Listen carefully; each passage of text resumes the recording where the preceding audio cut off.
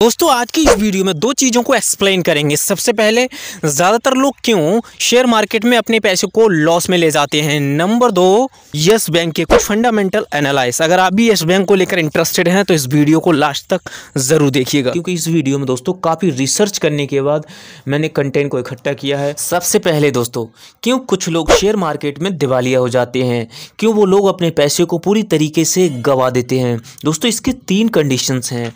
सबसे पहली जब व्यक्ति किसी न्यूज़ या किसी व्यक्ति के कहने पर स्टॉक मार्केट में इन्वेस्ट करता है तो वहाँ पर चांस लॉस के ज़्यादा होते हैं। नंबर दो जब व्यक्ति किसी कंपनी के शेयर में आई एकदम से तेज़ी को देखकर उस कंपनी के शेयर में इन्वेस्ट करता है तो वहाँ पर भी लॉस के चांसेस ज़्यादा रहते हैं।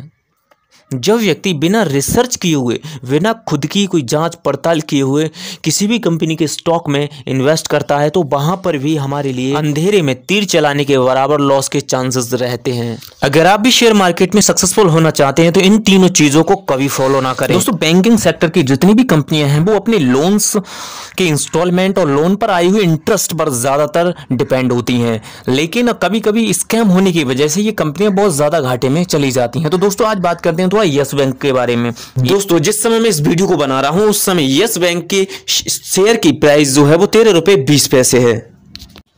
लेकिन दोस्तों, एक समय इसकी शेयर की जो प्राइस है वो चार सौ रुपये के आसपास पहुँच गई थी, जिसको देखकर ज़्यादातर इन्वेस्टरों ने पैसे को इन्वेस्ट करना शुरू कर दिया था।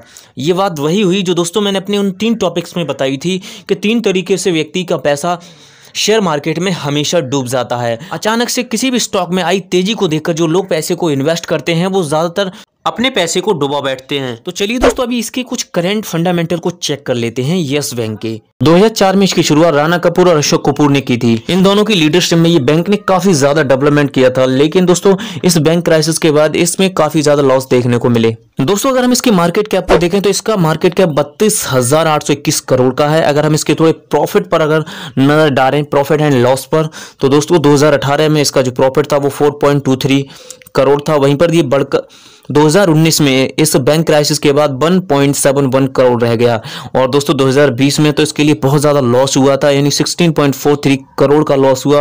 और वहीं पर एक नेक्स्ट ईयर में दोस्तों, इस कंपनी ने थोड़ा बैकअप किया। 2021 में इसका जो लॉस था, वो सिक्सटीन फोर थ्री करोड़ से घटकर थ्री पॉइंट फोर नाइन रह गया। दोस्तों, आने वाले समय में हाँ ये मानता हूँ कि ये बैंक रिकवरी कर सकती है, लेकिन अगर हम इसकी प्रमोटर की होल्डिंग की तरफ़ नज़र डालें तो ये बहुत ही ज़्यादा बुरी है। इसमें इस कंपनी पर प्रमोटर्स की जो होल्डिंग है, वो बिल्कुल भी नहीं है। दोस्तों, ये बहुत ही ज़्यादा इसका नेगेटिव पॉइंट है, लेकिन इसमें अगर हम डिविडेंड की बात करें तो वो भी इतना अच्छा ये कंपनी नहीं दे रही, क्योंकि ऑलरेडी ये बहुत बड़ी लॉस में है।